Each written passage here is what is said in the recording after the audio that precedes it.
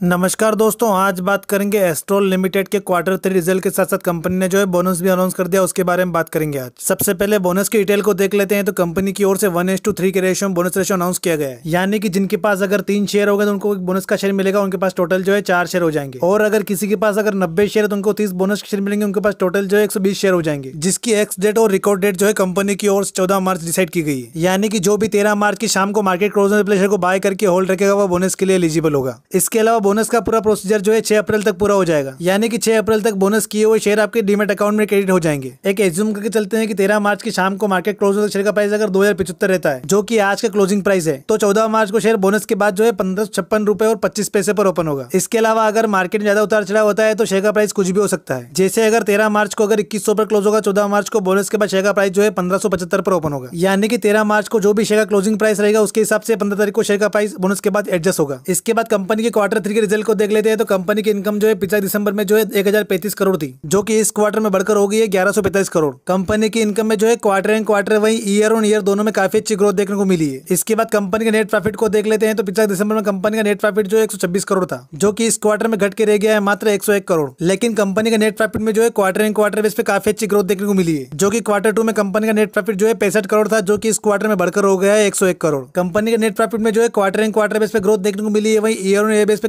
Company की income में जो है गिरावट देखने को मिली है। इसके बाद कंपनी का अर्निंग पर शेयर देख लेते हैं, जो कि पिछले दिसंबर में कंपनी का अर्निंग पर शेयर जो है छह दशमलव सत्ताईस था, जो कि इस क्वार्टर में घट के रह गया है पाँच दशमलव ज़ीरो तीन, जो कि कंपनी का प्रॉफिट कम होने से कंपनी का अर्निंग पर शेयर भी कम हुआ है। ओवरऑल कंपनी के रिज़ल्ट की बात कर, रिज़ल्ट शानदार रहे हैं और काफ़ी अच्छी ग्रोथ देखने को मिली है कंपनी के रिज़ल्ट में। और साथ साथ कंपनी ने जो है बोनस भी अनाउंस करे, जिस कारण से कंपनी के शेयर में कल तेज़ी देखने को मिल सकती है। बाकी अगर आप कंपनी का बोनस के ऊपर डिटेल में वीडियो चाहते हैं तो कमेंट बॉक्स में कमेंट कर दीजिएगा तो मैं उसके ऊपर वीडियो बना दूँगा। और अगर आपको वीडियो से वैल्यू मिली हो तो वीडियो को लाइक और चैनल को सब्सक्राइब ज़रूर करना।